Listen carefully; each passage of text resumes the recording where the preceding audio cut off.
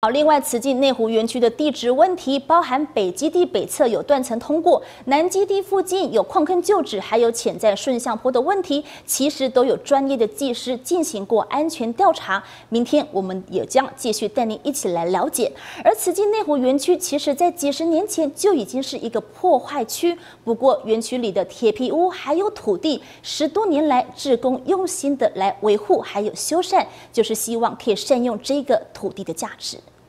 现况可以，其实也可以看得出来，铁皮的部分几乎是完全相同的，只是说当初的铁皮可能是新的，那我们现在用了十几二十年之后呢，其实铁皮都已经斑驳了、老旧了。慈济在民国八十六年接手当时的大有公车维修站，照片上清楚看见地面已铺上水泥和柏油，还有尖尖相连的铁皮屋。在后方可以看到，就是当时留下来的一个烤漆房。碍于法规哦，所以地面上我们都不能去更改。那现有的一个铁皮屋，全部都是那时候留下来的，我们只能够去做一个屋顶的一个修缮。保护区无法增建，只能从既有的建筑做修缮规划，区分为资源回收区、中央厨房、教育空间，还有物资暂存区。历经十多年的风吹日晒，志工用心维护并妥善利用空间，让这一群菲律宾志工亲眼所见每一条毛毯的包装存放感受更深。我们来参观一下，